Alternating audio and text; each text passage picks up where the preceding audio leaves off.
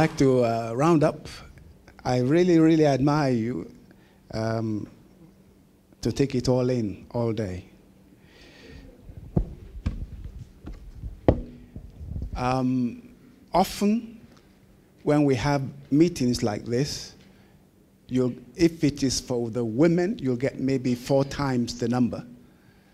If it's for men, we are glad to have up to this number, which shows you that men are the head of the house, but women are the head of the spiritual. If you go to prayer meetings, you get more women than men. So I think we have abdicated our role, and nobody, no pastor, no prayer group, no intercessory group can play a role that God has designated at the place of a man. And there's a reason because the enemy doesn't want uh, our families or even our churches to be at the peak of their spirituality by making men spiritually lazy. And when you get men talking together, it's either business or football. Spiritual matters are maybe controversial things they want to argue about, but very few people know uh, certain spiritual principles which I want to, um, I want to mention in, uh, in closing. Um, if, if God has called me to be the head of my family, it's not just administrative head, it's not financial head, it's not decision making head, it's a protective head. If I'm a head, I'm, cov- I'm given a, cover- a covering, an umbrella, a roof over my family. And I have a role to be able to declare certain things. And this is not just to be more prayerful. And I'll explain what I mean. Three instances. One example is Elijah said to Ahab, Ahab, as sure as I stand before God, there will be neither rain nor dew except by my word. That is spiritual authority. That the devil cannot just railroad his way into your family if you are the watchman. You should be able to make a stand. Elijah didn't say, um, as sure as I wrestle in prayer, as sure as I will fast for uh, uh, 40 days. He says, as sure as I stand. And he's not saying, devil, you cannot attack me because I'm going to stand against you. No. He says, as sure as, as I stand before the Lord. If you take your stand before the Lord, the enemy will not be able to stand before your family. And this stand is very, very important you need to be a person God recognizes as having a stand. It's not somebody, I mean, uh, I know time does not permit, and I don't want to beg for more time because I'm more tired than you are. I only look young. That is this look, a lot of people have difficulty differentiating uh, uh, the Father, the Son, and the Holy Spirit. There one, one of our pastors during my discipleship um, meeting I have with, uh, with people says, I don't care whether I'm speaking to God the Father, the Son, or the Holy Ghost as far as long as my prayers are answered. That is not polite.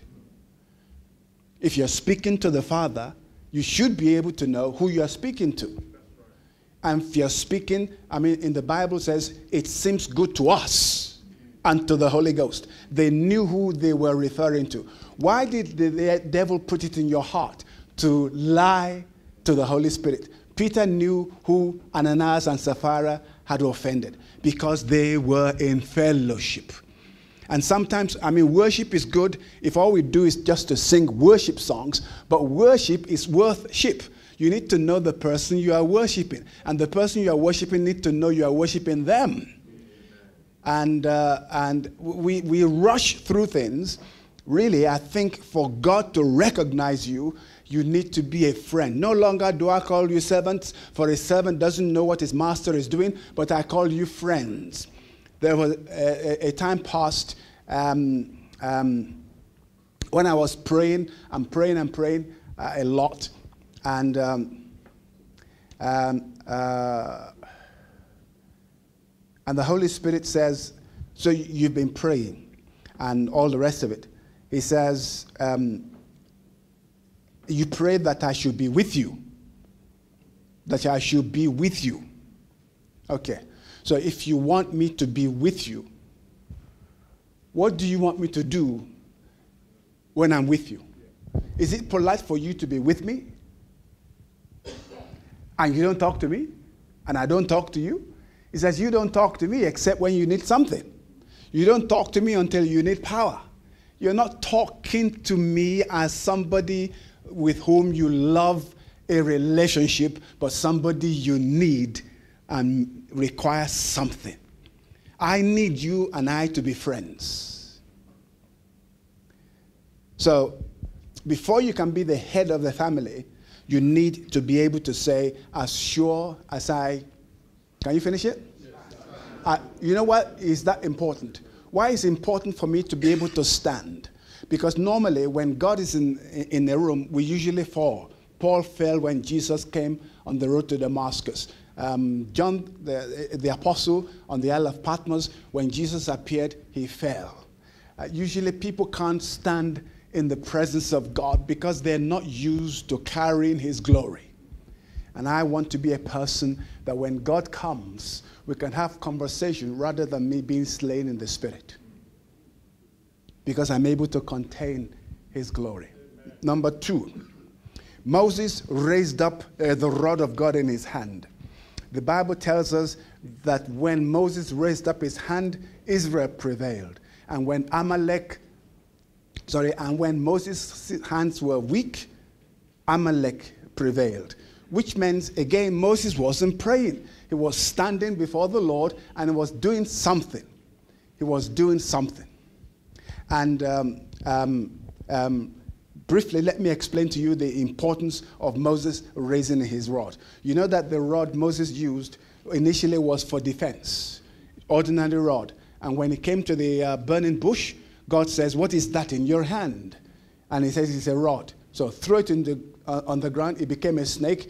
Pick it up, became a rod again. And God says, When you go, this is the sign you will use to prove to the people of Israel that I have met with you. So ordinary defense became a weapon of anointing. And that's the rod Moses used in all his miracles.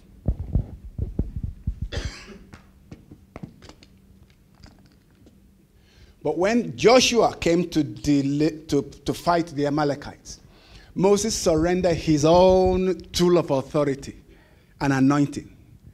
You know, when somebody wants to surrender in battle, they raise their rifle.